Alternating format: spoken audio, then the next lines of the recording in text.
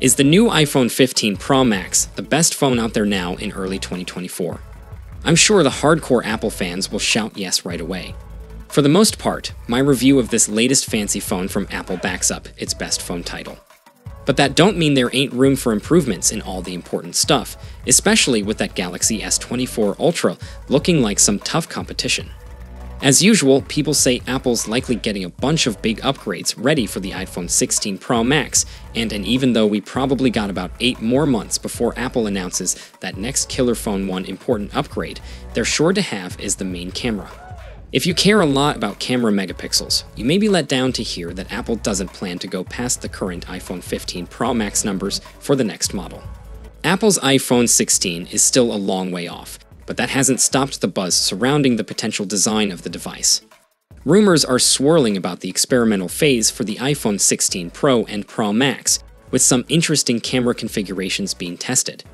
One leak even suggested a fidget spinner like camera module for the Pro model, while another leak hints at a triangular rear camera module that could make the phone look like an electric razor.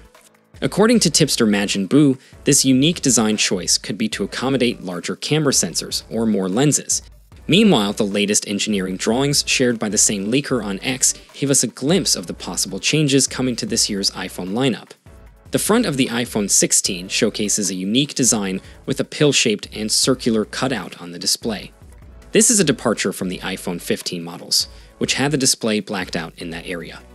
Moving to the back, we find a pair of vertically aligned cameras, most likely the same main and ultra-wide combination as the iPhone 15. According to rumors, Apple is returning to this vertical arrangement to enable spatial video recording. Currently, this feature is only available on the iPhone 15 Pro, which already has vertically aligned cameras.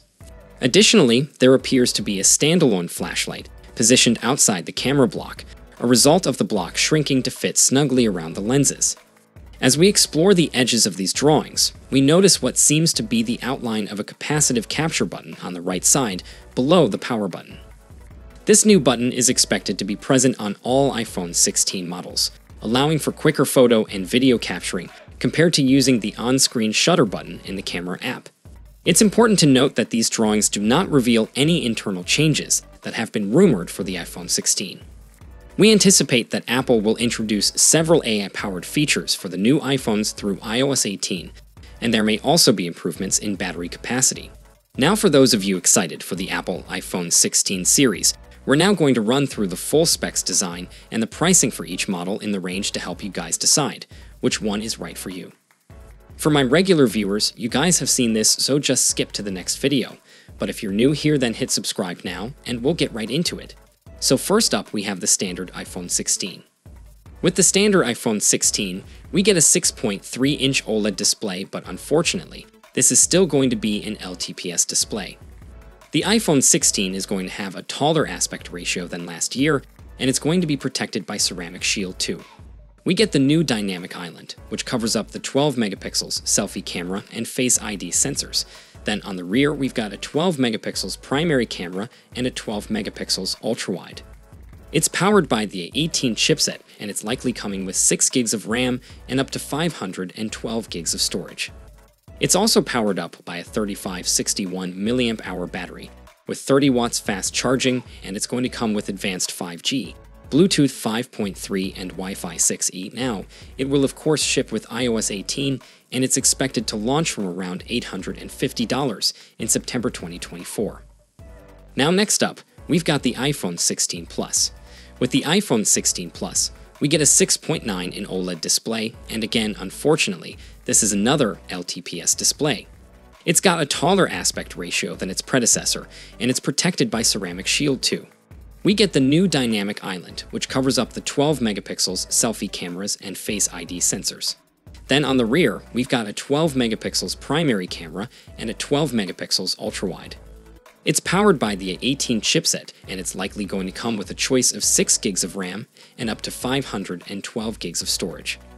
It's powered by a 4006 mAh battery with 30 watts fast charging, and it comes with the advanced 5G, Bluetooth 5.3, and Wi-Fi 6E.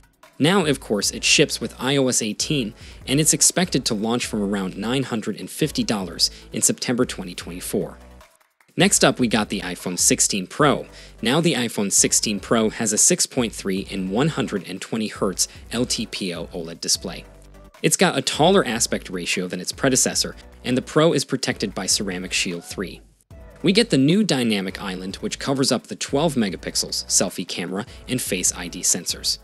Then on the rear, we get a 48 megapixels primary camera, a 48 megapixels ultra-wide camera, then we've got a 12 megapixels tetraprism camera with 5 times optical zoom.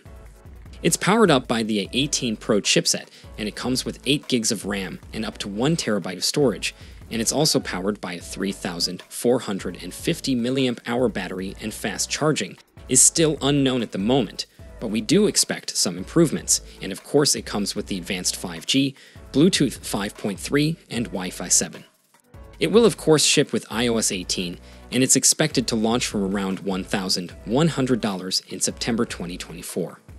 Now, finally, we save the best to last the iPhone 16 Pro Max. With the iPhone 16 Pro Max, we get a 6.9 inch 120Hz LTPO OLED display. Again, like the other phones, it's got a taller aspect ratio than its predecessor, and it's protected by Ceramic Shield 3. We get the Dynamic Island, which covers up the 12 megapixels selfie cameras and Face ID sensors. Then on the rear, we've got a 48 megapixels primary camera, a 48 megapixels ultra wide, and a 12 megapixels tetraprism camera with 5 times optical zoom. It's powered up by the A18 Pro chipset, it comes with 8 gigs of RAM and up to 1 terabyte of storage, and it's powered up by a 4676 mAh battery. As with the 16 Pro, we don't know the fast charging at the moment, but we do expect to see some improvements.